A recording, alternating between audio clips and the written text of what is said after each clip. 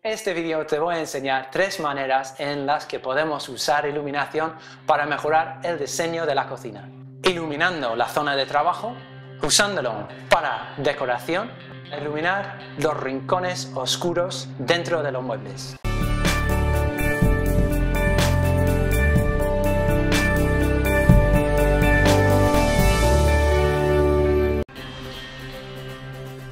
Estamos muy acostumbrados a tener nuestros hornos y frigoríficos iluminados por dentro para poder ver qué estamos quemando o para facilitar la búsqueda del limón pocho en el fondo del frigorífico. Ahora puedes encontrar lavavajillas con iluminación por dentro y también lavadoras con iluminación LED en el interior. Los rincones oscuros iluminados es algo que facilita el uso de las máquinas y te hace la vida más cómoda.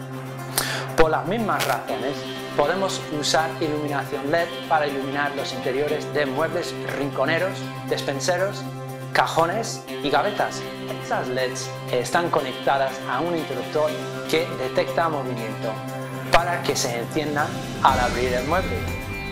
Colocamos una tira de LED en la parte superior del cajón o gaveta y como mide menos de 2 centímetros de grosor, nos resta capacidad del mueble. Usamos vitrinas en la cocina solamente por estética. La, lo usamos porque tienes una vajilla muy bonita y quieres dejar a la vista o para quitar peso visual en una zona donde hay muchos muebles de colgar. En ese tipo de mueble puedes colocar luces detrás de la puerta de cristal que se quedan encendidas e incluso con la puerta cerrada, con distintos tipos de cristal, opaco, translúcido o ahumado conseguirás efectos distintos.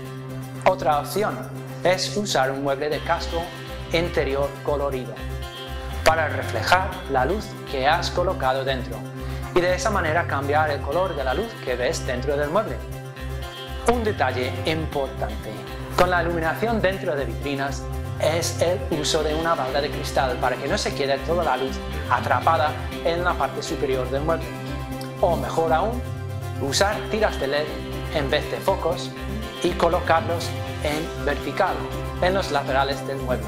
De esta manera la luz llegará de forma constante a todos los lados del mueble independientemente de las baldas y productos que tengas colocados en el interior.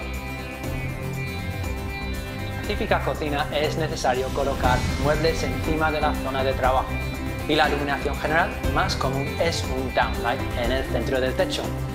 Estas dos cosas combinan para crear sombras y oscuridad en la encimera, justo donde quieres ver lo que estás cortando.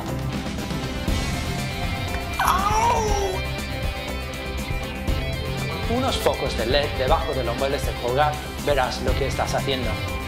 El de foco cuesta muy poco.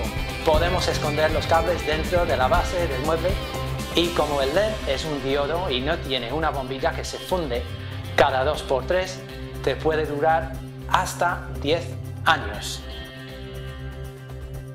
Espero que te hayamos dado alguna idea sobre iluminación para tu próximo proyecto de cocina.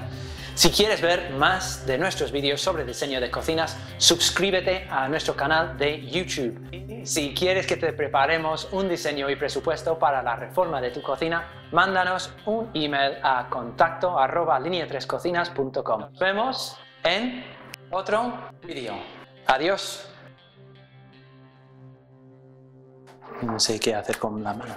no puedo ni leer.